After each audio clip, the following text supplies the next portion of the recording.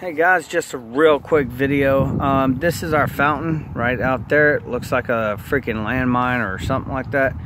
Uh, this is our controller box. Done a video on this uh, probably like years ago. But today I went by and there was only one nozzle squirting out water.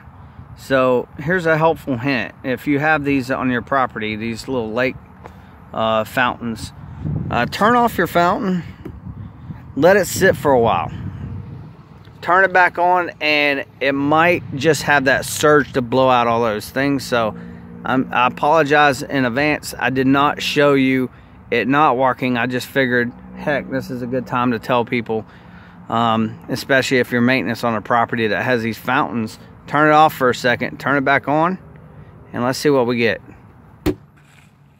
Oh snap. Almost every wow blew it right out. Now we're going. Before it was just this one little piss stream coming out. And it looked like shit. It doesn't agitate the water. That's mainly why those are in there.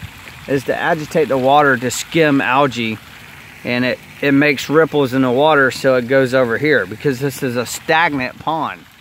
So to have those, to have these on your property is actually essential because uh, you're not gonna have just a cesspool of algae and stuff. So it's not only pleasant to look at and decorative, but it also does serve its purpose.